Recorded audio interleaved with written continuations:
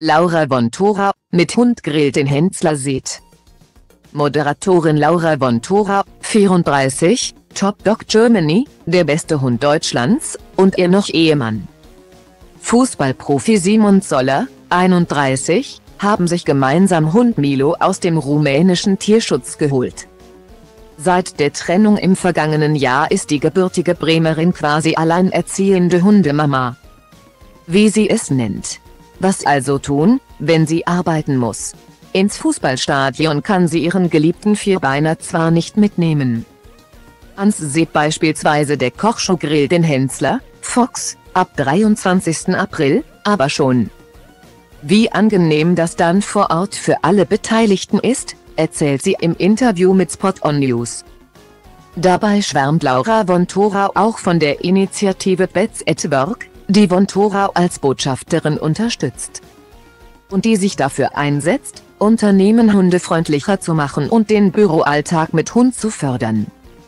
Laura von Thorau, genau, Milo kommt aus Rumänien und ist dort mit fünf anderen Welpen gefunden worden.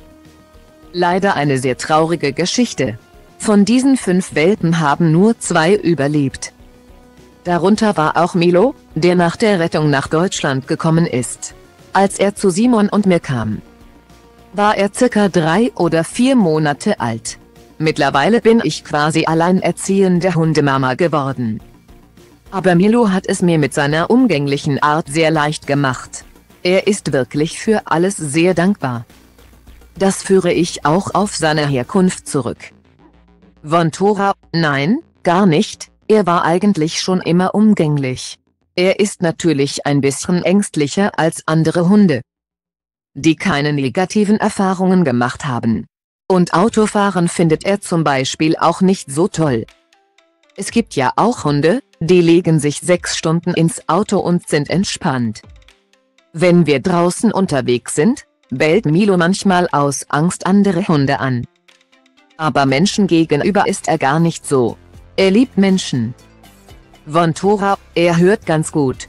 Ich habe aber manchmal das Gefühl, dass ich aufpassen muss. Dass ich ihn nicht zu sehr verwöhne. Wir haben zum Beispiel gerade die neue Staffel von Grill den Hänzler aufgezeichnet.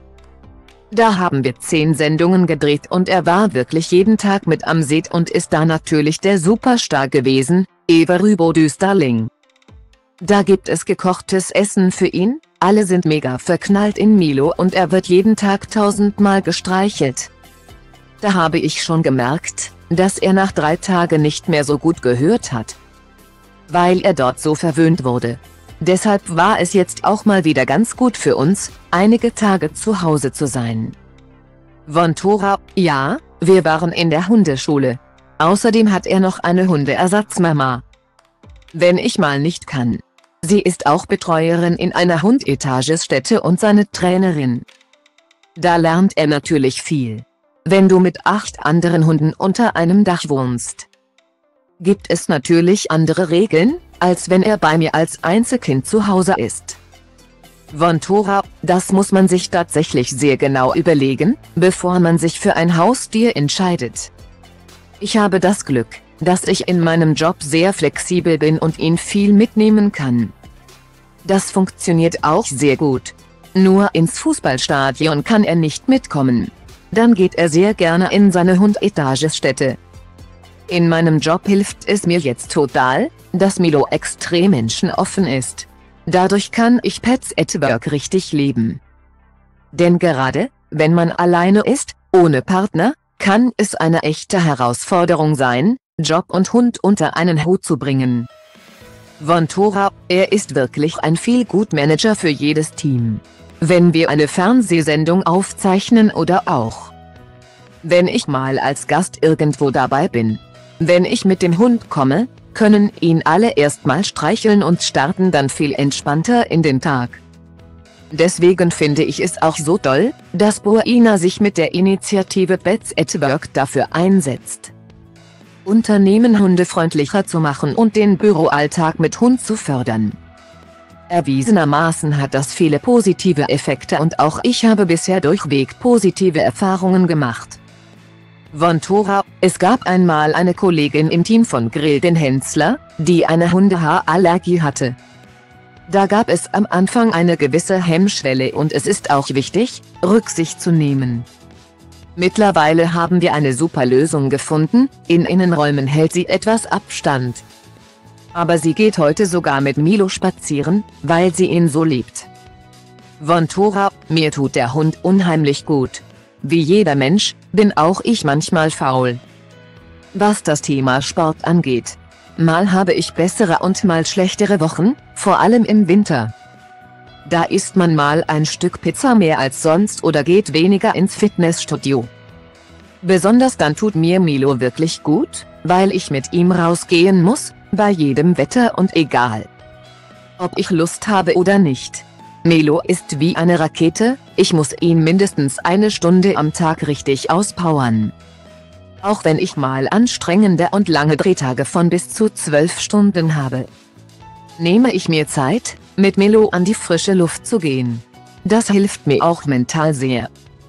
Ohne Hund würde ich das ehrlicherweise nicht tun.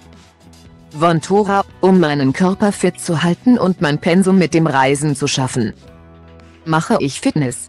Ansonsten spiele ich sehr gerne Golf. Da ist es natürlich auch toll, Melo mitzunehmen. Als ich vor 15 Jahren anfing, war es noch undenkbar einen Hund mitzunehmen. Aber mittlerweile sind die Regeln auf Golfplätzen sehr viel lockerer geworden. Natürlich muss man den Hund an der Leine halten. Damit er nicht den Bällen hinterher rennt, aber man darf Hunde mitnehmen. Deshalb ist Golfen meiner Meinung nach ein super Hundesport. Vontora, ja, Melo ist ein richtiger Kuschelbär. Als ich ihn bekommen habe, meinte meine Mutter. Er wäre ein absoluter Jagdhund, womit sie auch teilweise recht hatte. Ein kleiner Jäger ist er schon. Aber er kuschelt total gerne. Jeder, der ihn kennenlernt, wird das sofort merken. Vontora, anfangs durfte er auf keinen Fall ins Bett. Damit er nicht auf das Sofa springt habe ich die ersten zwei Wochen bei ihm unten im Wohnzimmer geschlafen. Aber ich muss zugeben. Weile liegen wir beide jeden Abend zusammen im Bett und kuscheln.